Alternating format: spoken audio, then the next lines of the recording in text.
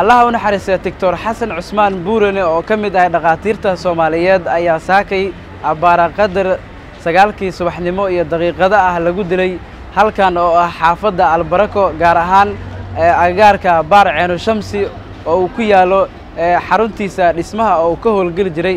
Waxaa noola sheegay tictoorka in uu fadhiyey afaafka hore ee gurigiisa xilliga la tooganayey sida ay dad goobjoogayaala noo sheegeen. Shacabka halkaani ku sugan waa ay murugaysan yihiin. Waxaa daqiiqado ka hor halkaani laga qaaday meydka allaha u naxariistay doctor xasan cusmaan ciise buurane oo dabley hubaysan ay saakii halkaani ku toogteen. Buurane ayaa ka mid ahaa dhakhaatiirta farakutiriska ee soddonkii sane la soo dhaafay dalka ku sugnaa. Waxa uu lafdhabar u ahaa bahda caafimaadka isagoona ka soo shaqeeyey gobollada dalka cabdi ceydiid xiire waxa uu garanayaa shakhsiyadda doctor buurane. Waxa ay saaxiibo ahaayeen ilaa iyo lixdameeyadii iyo waxbarashadiisii dibadda.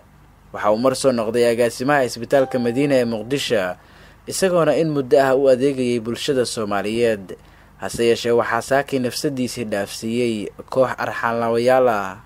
Anu magacayga waxaa la yidhaha doctor cabdi caydiid xiirey doctor xasan cusmaan ciise doctor buurane iyo siddeeddii ayaanu isbarannay wakhtiga iyada ah waxaanu nahayn dhakhaatiirtii loo qaatay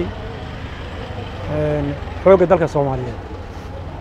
Marka barashadana waxay midisinka waxaanu ka wada bilownay waddanka maarata midowgii sofieti la odhan jiray magaalada liningrad ama san petersburg.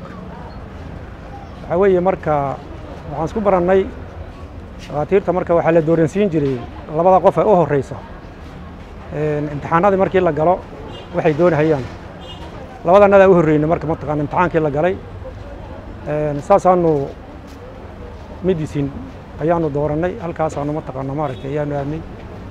Waktigaa laga bilaabo kun iyo sagaal boqol iyo lixdan iyo siddeeddii waxaan ahayn labada nin oo saaxiiba oo saaxiibnimo keliya aan ku saaxiibin mataqaana professionalka ama dhakhtarnimada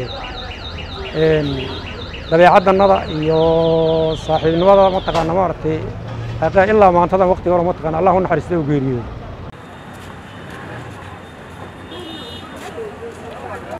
buuran ayaa lagu xasuusan doonaa inuu ahaa dhakhtar soomaaliyeed islamarkaana aanu ku lug lahayn arrimo qabiil iyo siyaasadihii dalka. Sida uu warbaahinta qaranka mar kale u sheegay cabdi ceydiid xiirane buurane waxaa lagu xusustaa nin soomaaliyeed oo khaas ayuu ahaa. Nin qabiil ma ahayn nin kala jecel ma ahayn dadka soomaaliyeed. Nin naxariis badan deeqsi ah. Wax alla wuxuu gacanta ku haya u hirhaya qofkii mataqaana u baahan. Waxaa weeye marka haddii cid kasta way dhiman haysaa waxaan rabaa inaan halkan tacsiyo